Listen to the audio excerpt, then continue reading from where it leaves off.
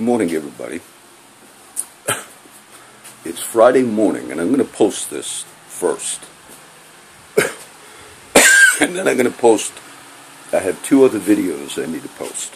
Uh, a teaching video on uh, John Paul Sartre, okay? But I, he's atheistic philosopher of the 20th century, one of the most popular philosophers, him and maybe Heidegger are the two. They're still considered existentialists, by the way those of you who follow my philosophy post. But I'm going to teach that in the post. So I'm, I'm going to try and upload all of them today. But why are you doing this one first?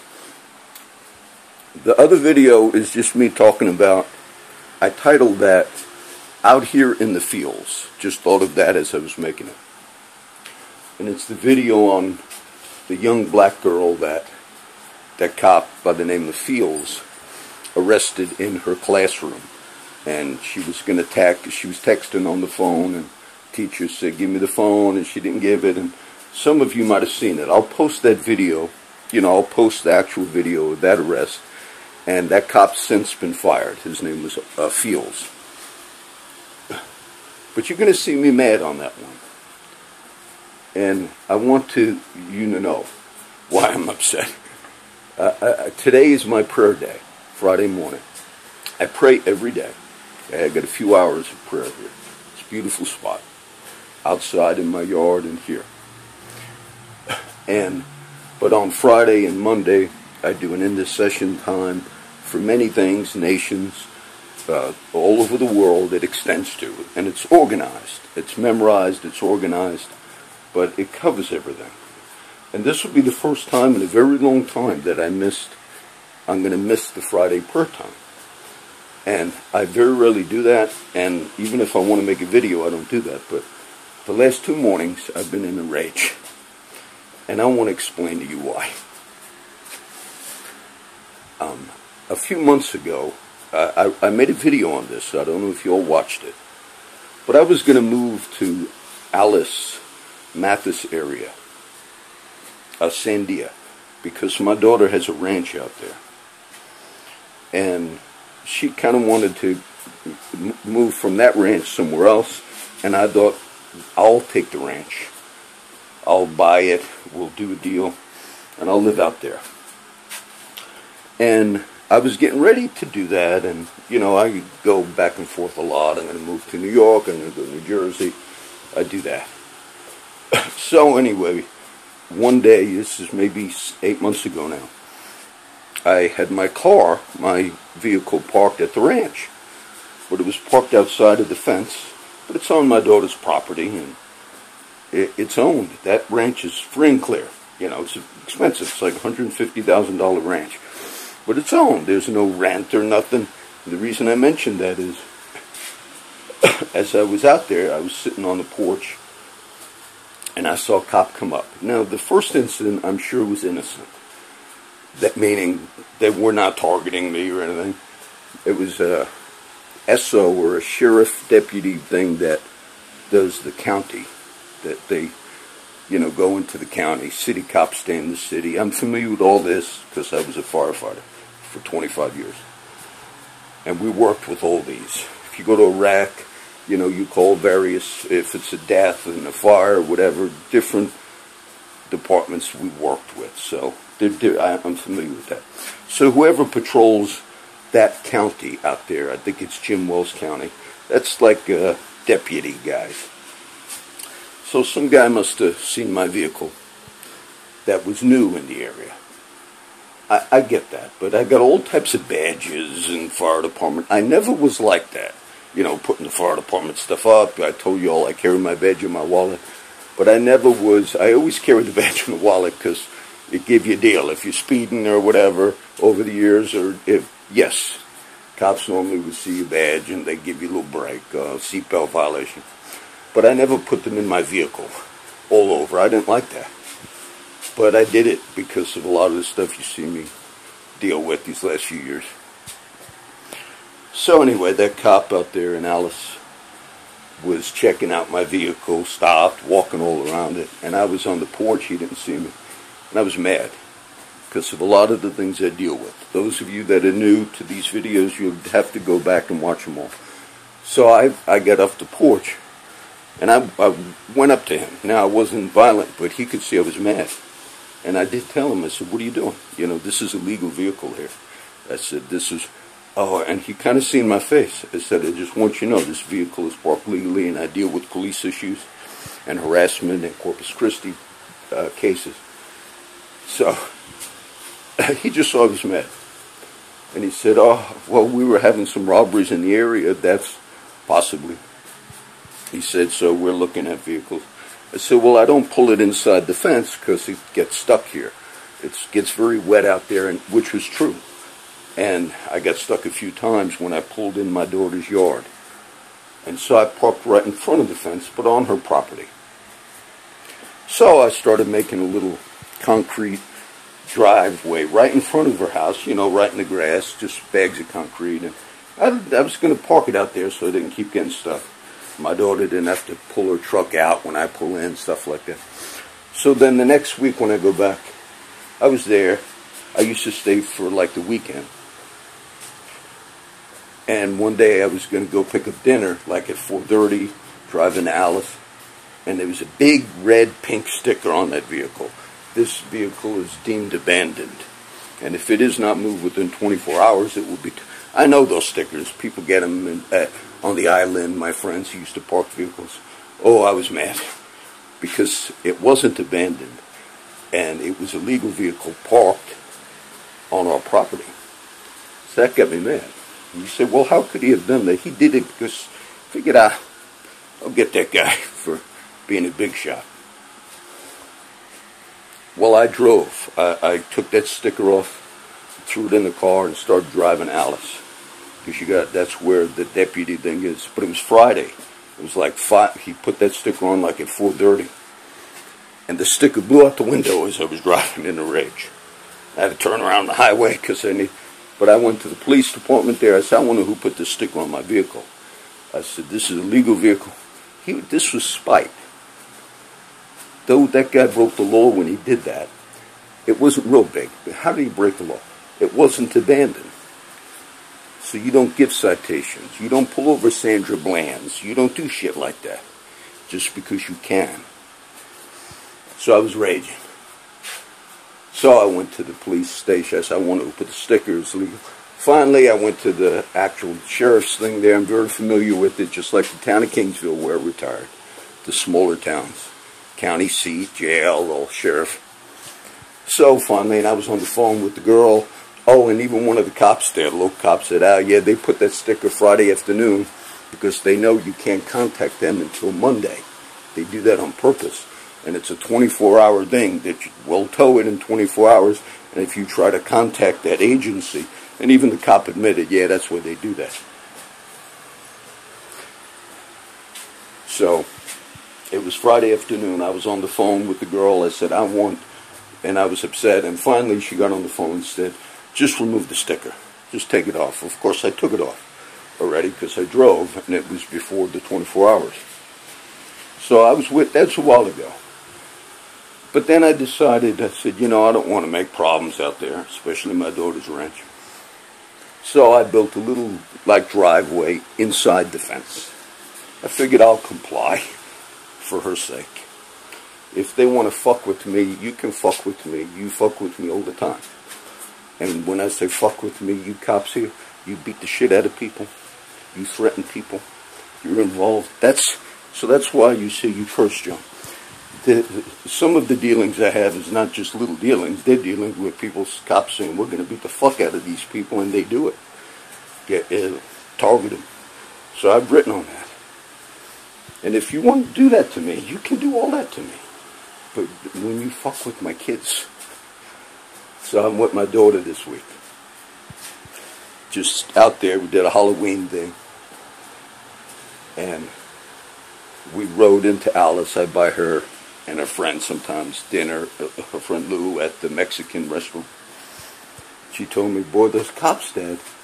See, I don't know if she knows the whole thing I just mentioned. She said, they keep driving by the house. It was upsetting her. She said, "Oh, they could. There's this whole county. They got it. Up and down the street. Slow. Fucking with my kids. Oh, I was raging. I was raging for a few days, every morning.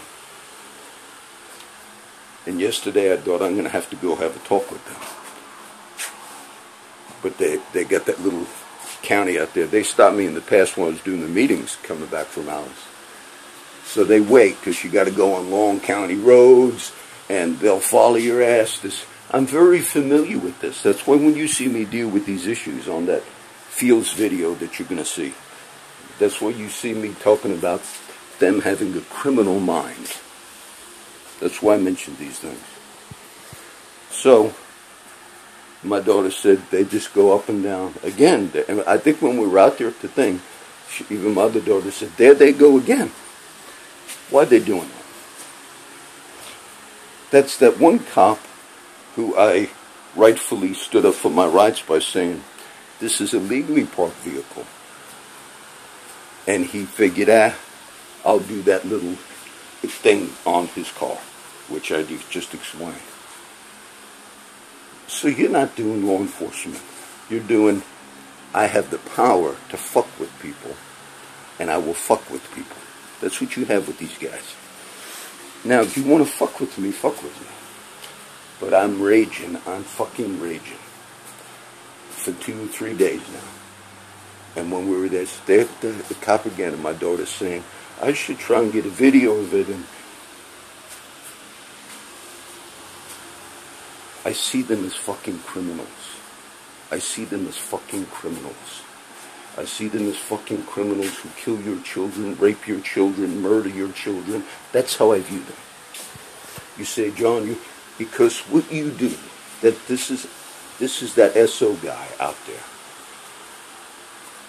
What you do is you realize, well, maybe we can drive up and past your house. I'm a civilian. I'm, I'm legally able to drive past your house. I don't know your addresses. I don't look them up. You pursue people. You track my phone there in Corpus for a few years. You do all that. But God forbid that one person ever would even. Uh, I see all these things. You guys made threats these last few years, open threats on the streets. Then I see these cases where people are uh, arrested for all types of things that, you know, how dare you? You cross the line every day. So that's why when you see the other video, this one's going to go up in a minute. And that's why when you see the video on Fields, where Officer Fields, where who got now got fired, that's that. This is what's been eating me up for now a week. Hearing my daughter say how there they go again in front of the house. You do those things because you have your family, you get in your car, you buy honey, buy kids but today we're going to go fuck with other people's families and their children. When you pulled, when Officer Fields pulled that black girl out of the chair in that class, you see all those other black kids sitting in that class when the video is being taken, looking straight ahead. They said his his nickname was Officer Slam. He worked at that school, I think, for seven years, and that was his nickname. And you could see the fear on those other black kids in that class, looking straight forward as he was throwing that girl. So, the way now the, this, I didn't want to have a whole nother incident where I got to go and uh, speak with the sheriff over there and talk with them, and then knowing full well in my mind that that guy that's doing it would sit there smugly and saying, "Oh, it's in our right to fuck with your kids, to fuck with your families. It's in our right. That cop that shot that kid seven times in the back because that vehicle's headlights were, uh, it seemed like the high beams were on. They weren't, but it seemed like it because he stopped other people for doing the same thing, blinking their headlights, high beams, trying to indicate your beams are on in that vehicle. This was a recent video I just posted. And then that incident rose to the point where he shot that kid seven or eight times in the back. The kid dropped his brother off at church and was going to his girlfriend's house. Incidents where, and then after all of that was looked at, he grabbed the kid's phone, threw his phone, violated every law you can violate, including the law of God, which is thou shalt not kill.